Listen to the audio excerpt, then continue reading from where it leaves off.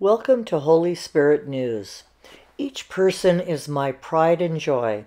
I created all to be reflections of myself. I live and experience with each individual. As each learns lessons in life, I take pride in their advancements. Each person is here on earth for a specific time. It is important that they acknowledge their Creator, that they follow my rules, and that they get to know me. Man's life on earth is complex and filled with many different experiences. The most important lesson is learning of me and my kingdom. My kingdom has always been there, whether you have perceived it or not.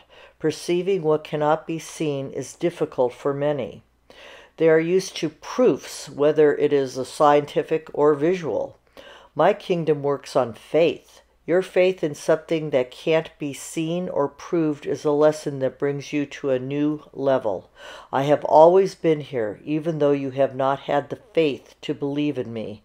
Take a step into something that is invisible and that your soul will perceive rather than your fleshly nature. I await you.